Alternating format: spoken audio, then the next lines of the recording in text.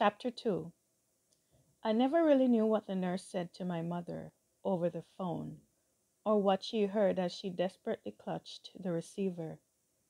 All I heard were two words that kept replaying over and over again in my head as we burst through the doors of the hospital emergency room. Terrible accident. We later found out there had been a collapse at the mill as his colleagues tried to explain the scenario I sat quietly overwhelmed with disbelief and with fearful thoughts rushing through my mind. I only managed to pick up a few words that were being said. Something about a stack of logs hit his head, trying to save our lives. Very brave. These words became jumbled in my head, and I became even more confused. I was lost. I had no clue what I was to do what to expect or how I was to behave. All I knew was that the man I had I called daddy was lying in a room, not knowing if he was going to live or die. Doctors were claiming that they could do no more. The man that I had barely said two words to in months was now disappearing rapidly before my eyes and I could only sit there, trembling with fear and plagued by memories of our past. I could feel the fear slowly taking control of me. The terrifying sensation made its way up from the tip of my toes, flowing up through my legs. Then it was in my arms, my stomach, and my chest. Soon I couldn't breathe. I was silently drowning in fear. I didn't notice when my mother came out of the room and sat down beside me. Nor did I notice when my sister and her husband came running down the corridor.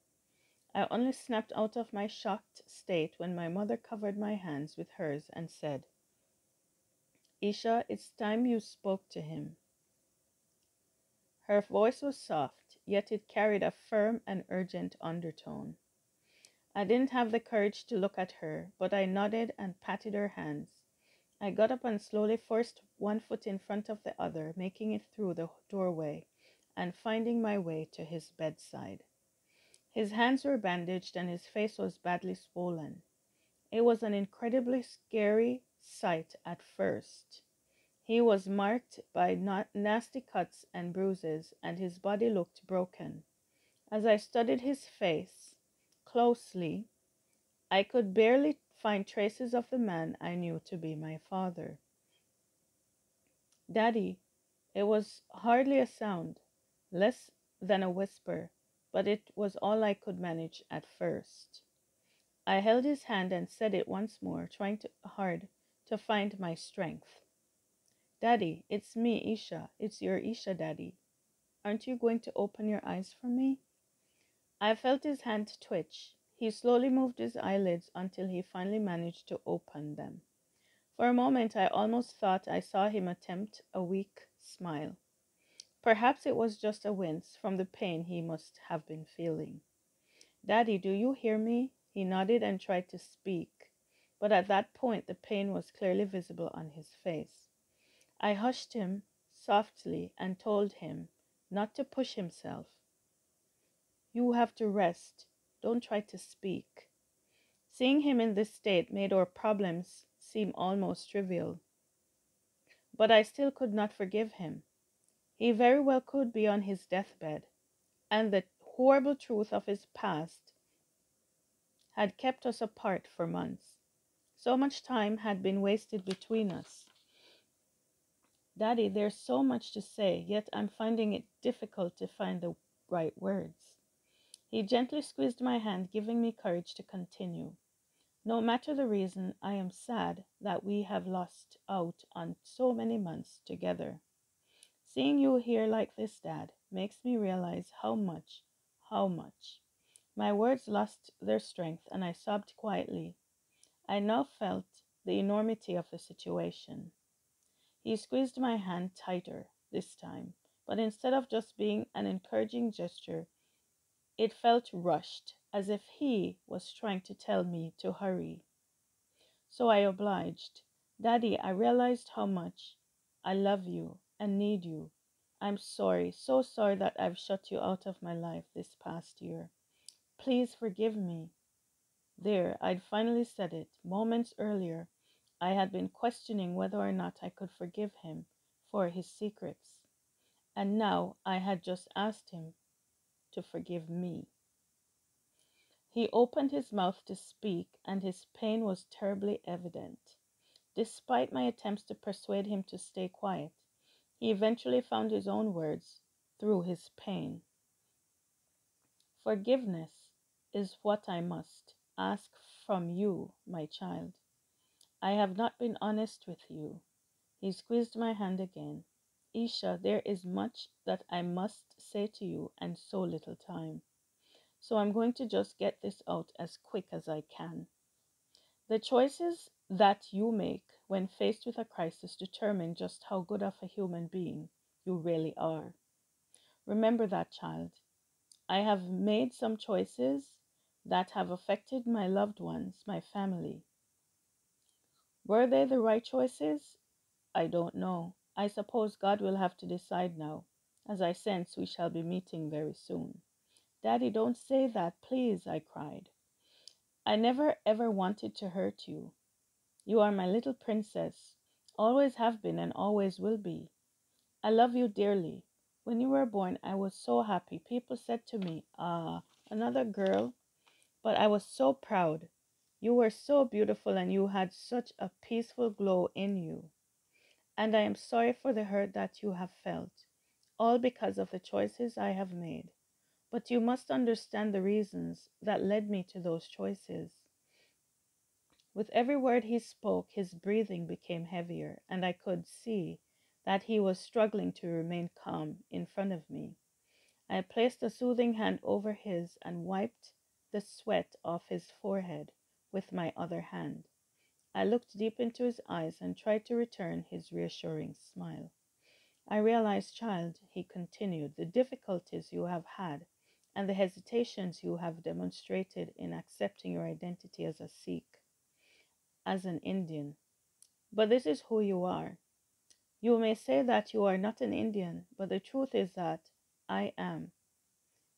You may battle demons inside of you, refuse to accept that you are you're a Sikh, but I accept and recognize my religion. I have never tried to force it upon you. Rather, I have always secretly prayed that one day you would find your way to accepting it as a part of your identity. Daddy, why are you saying this to me now? What difference does it make? It matters, Isha dear, it matters. The way I have lived my life is a reflection of how important being a Sikh is to me. It is a way of life. It does not define who you are in the beginning, rather, it helps you to find out who you are to become. It continues to guide you until one day you can look at yourself in the mirror and embrace who you are. When you are able to embrace it in front of all others, irrespective of the outcome, then you will have fully embraced your identity. Be proud, Isha, and live without fear. Is this how you rationalize your choices? I questioned with a hint of sarcasm, which I immediately regretted. Call it what you may, but it has been my choice, way of my chosen way of life. It is what I see to be right and just. I am sorry, but you're not making much sense, Daddy. Forgive me, but I'm having a very difficult time understanding how this chosen way of life has led you into having two families. The absurdity of it takes makes me want to yell to the world that my whole life has been a lie. Dad, it's a total soap opera, one that I never thought would become a part of my reality. How in the world does someone rationalize that? No one can, my princess, no one. But at the same time, you are not completely correct when you assume that this tale has become part of your reality. I don't understand. I lowered my gaze as my eyes welled up with tears again, and I shook my head. I'm tired. I'm tired with all of these lies and half truths. Please just tell me straight what is the true story behind this family in India and their connection to you. I have to know. Listen to me carefully now. His discomfort was becoming more and more evident now. His breathing became heavier with every word. I know your mother tried to tell you the truth. She was bound by a promise that I forced her to make years ago, despite what you have heard and what many have been led to believe all these years. I was never the rightful husband nor the biological father to the family in Indian. I simply answered God's call. My mouth went dry as I became numb. In the few moments of silence that passed between us, I tried to absorb what he was trying to tell me, but it made no sense. I tried to react, but all I could muster was, What? That is the truth, Isha, and all I can do right now is to seek your forgiveness and in time your understanding. He closed his eyes, and my heart skipped a beat as I feared the worst. But he kept speaking. God will now help me to see whether my choices were in fact right or wrong. But I keep my faith. I love you, my princess. He opened his eyes again and gave another weak smile. I returned his affection with a kiss on his forehead. Daddy, I love you. My voice croaked and I looked away, fighting back the tears. This was getting to be too much. My mind was racing with so many contradictory thoughts. First, I had been led to believe that the family in India belonged to him, and now I was being told otherwise. I'd spent a year being angry with him, and now I, am, I was frustrated. I couldn't deal with it because here he was, lying before me, all bruised and broken, and talking about his faith in God and his identity as a Sikh. What the hell was going on? I had so many questions for him, but he was too weak for a long discussion. In the meantime, I was going crazy. I had to get out. I needed air. Daddy, I'll see you in a bit. I'll see you a bit later. I'm just going to go get some air. As I let go of his hand, I had a strange feeling that I was letting go of a part of me. I could sense an empty feeling creeping up from within. I turned and looked at him once more from the doorway. This can't be it, surely. I'll see him again. Don't be so scared, Isha. Taking a deep breath, I turned on my heels and walked out the door. I tried to focus on happier moments, to come like bringing my father home and making up for lost time. I convinced myself there was still time. Life couldn't be that cruel, could it? Later, I realized that life has a mind of its own. It doesn't pay any heed to the ways in which we try to convince ourselves that we have control over it. I wanted more time because I wasn't ready to let go of my father. I thought I had it. He never came home from the hospital, and we didn't make up for lost time. I never saw my father breathe, smile, talk, or open his eyes again.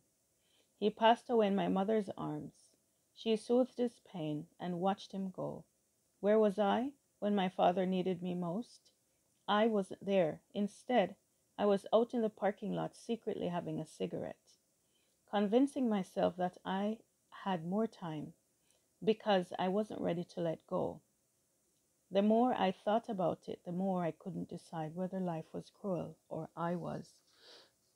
So, in this chapter 2, we see many more themes emerging.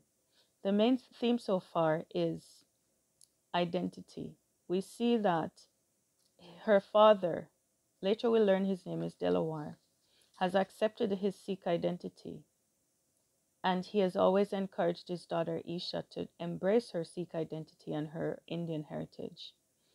But because of the pull between the Western world and her, her cultural beliefs, she's she's confused about who she is, and she strongly maintains that she is just Canadian. She's not Sikh and she's not Indian. Another strong theme is the persistence of the past. We see where actions and choices made in the past have, st- have strong ramifications for the present, as these actions have caused a divide between Isha and her father over the past year. And now we see other themes of fear coming in. We also see choices as being, or the impact of choices as being a strong theme. Later on, we'll see guilt and remorse emerge, and these themes are connected to the other themes of the persistence of the past and fear as well.